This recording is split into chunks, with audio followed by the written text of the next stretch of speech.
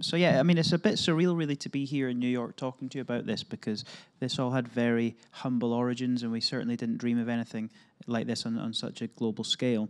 Um, the whole thing started for us about seven years ago. I co-founded this little business in Scotland called Social Bite. It actually started as a little cafe, sort of coffee sandwich shop in the centre of Edinburgh. Um, and originally, the idea, to be honest, didn't have anything to do with the homelessness issue. Um, but what happened was we met this young man who was 19 years old.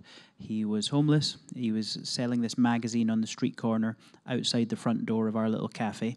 And after about two weeks, he came into the shop this day and he plucked up the courage and he asked us if he could have a job. Um, so we kind of thought, why not? Seemed like a nice thing to do, and we gave him a job in our kitchen. Um, basically, he worked very hard. We saw the employment was very transformative for him, and we thought we'll try it again. So we asked this guy Pete if he knew anybody else that was homeless uh, that might want a job, and he suggested his brother Joe. Um, so we gave Joe a job.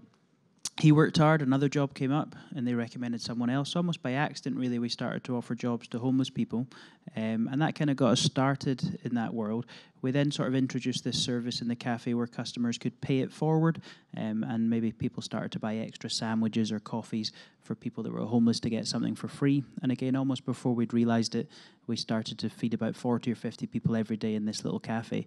Um, so that was the origins about seven years ago, and over, over, the last seven years, we've really sort of expanded our work.